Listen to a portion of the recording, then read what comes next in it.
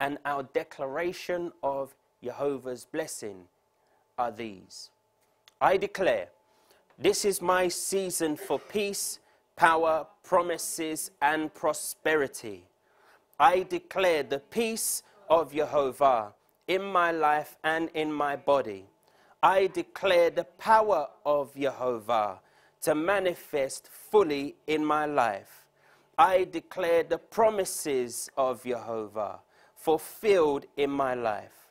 I declare the prosperity of Jehovah to permeate every area of my life. And I declare I will walk in obedience to Jehovah every day of my life.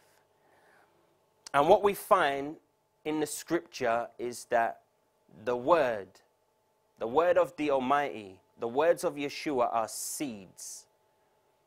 And when the seed is sown into good ground, it bears fruit. That's how the Father is glorified.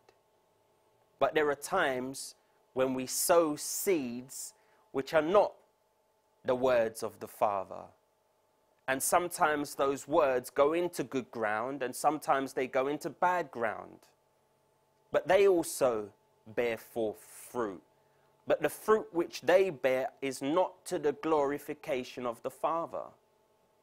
So sometimes we can go through life looking at our lives, not considering where the fruit of our lives actually comes from. There's a good harvest and there's a bad harvest. The Bible teaches that Father will dispatch his angels.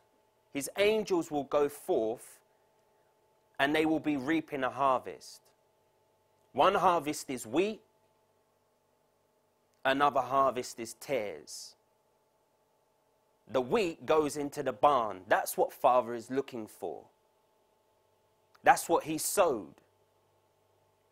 But there are seeds which have been sowed by the enemy, the tares. Those will go into the furnace. So we can see in Scripture that there are different seeds, and different seeds produce different harvests.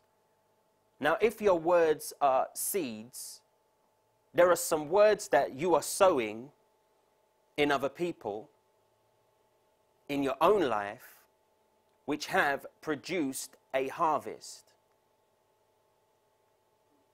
If you look at your own life, maybe you've allowed some words to take root and to produce things which you don't want. Maybe you've allowed your words to go into someone else and that's producing fruit that you're having to deal with. And I can attest for my own life that there are times, there are things that I've said which have put me in positions where I'm having to eat some sour, bitter fruit. So when we consider the words and the power and implication of our words, then we begin to see that if I start declaring Father's word in my life, then maybe I start, will start seeing the fruit of those words manifest in my life.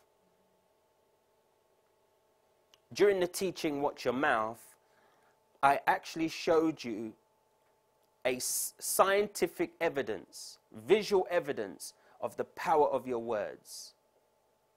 For those of you who did not see that teaching, for a period of 31 days, I spoke to apples, or half of an apple. I spoke good things to one half and horrible things to another half. And lo and behold,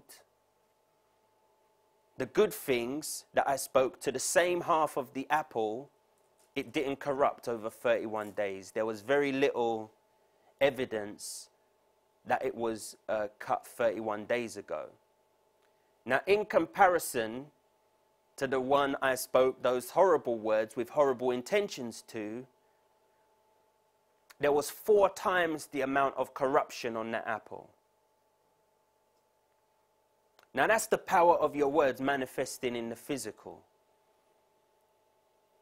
But there's also a power of your words manifesting in the spiritual.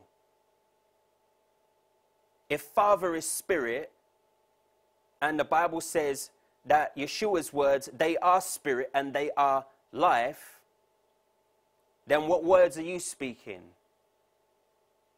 Are you speaking life? This is the power of your declarations, what you allow to come out of your mouth.